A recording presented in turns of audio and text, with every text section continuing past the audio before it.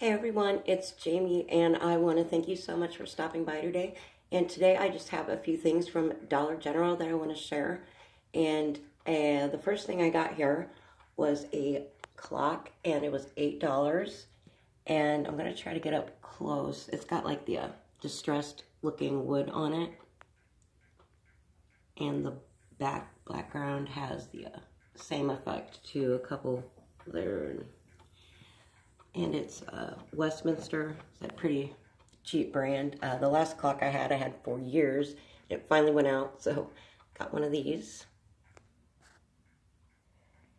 The next thing here was a pack of Barbie stickers. There are 42 stickers in all. There are three sheets.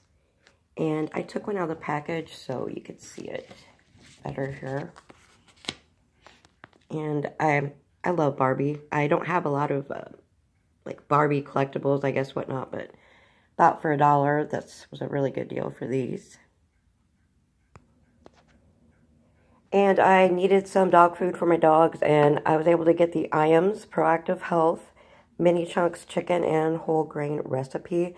And this, the price on this has been going up. It was like 10 something at Dollar General, but they had it on sale for 9.50 and my dogs really do like this. I tried some of the cheap stuff at Dollar Tree, like when I was in a pinch, and they wouldn't even eat it. So I they really like this.